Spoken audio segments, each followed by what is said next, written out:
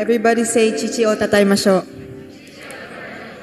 Praise the Father. この素晴らしい特権、任命された息子として、あの、アポロ牧師として任命あ感謝いたします。Praise the Father.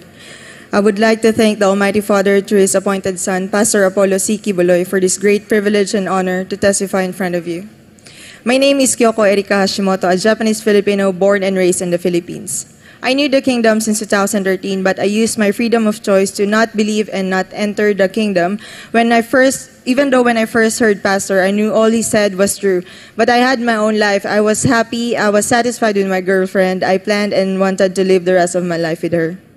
But if the Almighty Father works in your life, even if there were hindrances, the Father will really make a way to let you into His kingdom. Praise the Father. He knows who He will use, the Father, what circumstances He will put in your life just to perfect the plan He has for you. In 2014, my brother and I took the water baptism, and I wasn't serious. There was no genuine repentance. I didn't know what I got myself into, and just went through the through the water baptism just to make her happy, because she was the one who introduced us into the kingdom. There was no change from within. I was still doing the things against the will of the Father. If your purpose to enter the kingdom is not to really repent, it will one day you will really be cut off. Praise Father. And to cut the story short, my life started to fall into pieces until my biological father all of a sudden told us to live in Japan. And then everything really happens for a reason, and that only reason is for you to have the Father's salvation, for you to become like His appointed Son, and for you to go back to the state of innocence, where we know nothing but to do His perfect will. No matter what path I chose to take, as a Father. No matter how much I resisted, because I really believe that being a part of LGBT, having many vices, not liking rules, and living the life the way I wanted, but no matter what reasons I had, the love of the Almighty Father outweighs everything. He has always been faithful in leading me to salvation, but truly, the Father does not look at who we are today, but on who we will become. So, Father. I remember pastors preaching about the love of God, and it was the first time I really felt the Almighty Father's love, and that was also that was also the time I felt that He was really there waiting for me all the time. And then I decided to try to know the kingdom, faith, and faith does really cometh by hearing, and hearing by the word of God. The Father. And I was rebaptized and decided to take the kingdom seriously. And this time, I did it not to make someone happy, but to make the Father happy because He loves me despite of my brokenness. And the Father molds me slowly through sacrifices, corrections, discipline, trials, and testing. He removed that that is not in accordance to His will in my life. And in 2019, I decided to offer my life into full-time ministry, and praise the Father. And I also thank the Almighty Father for using not only me, but me and my biological brother as one of his news reporters in SMNI Japan. The Father. And I have personally witnessed how SMNI News Japan is making a name of its own in the land of the rising sun. The appointed son has produced SMNI News bureaus in various prefectures in Japan, including Tokyo, Osaka, Nagoya, Saitama, and among others, and has put up its own news center in Tokyo. Praise the Father. Because of these blessings and privileges, we were able to cover the major events in Japan, including the Tokyo 2020 Olympics and Japan's election of new prime minister, to name a few. A feat that we will never be able to do without the trust and the guidance of the appointed son, who is the honorary chairman of SMNI. I, along with other news correspondents, have been wit- a witness also as to how SMNI is reaching out to more pe- people, more Filipino communities in Japan.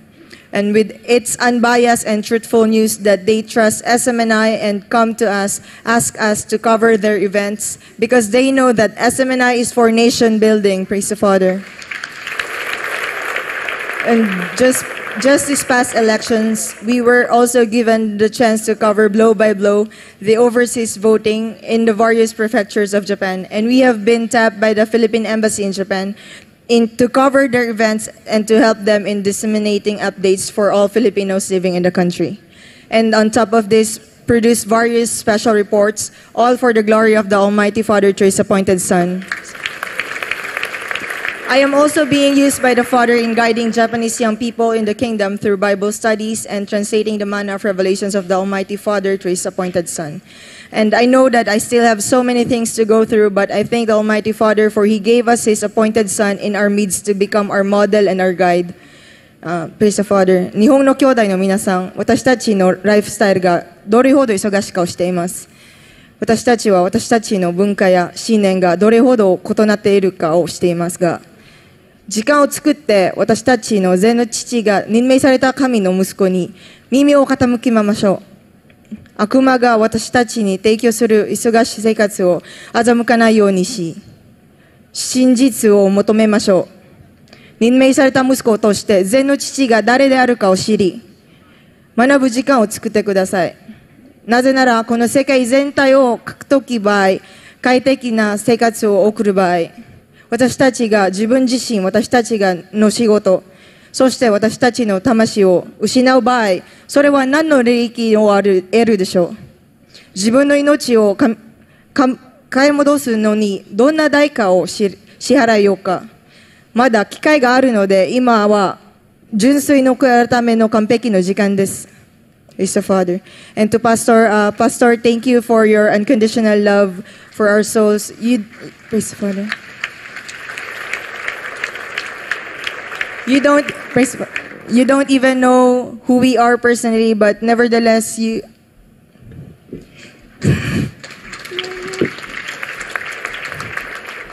you, you accept.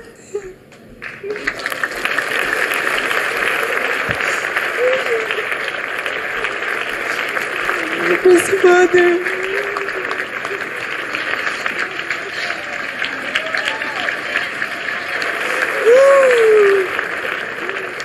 You accepted us without any questions, without any doubt, without thinking if we too will become an overcomer like you.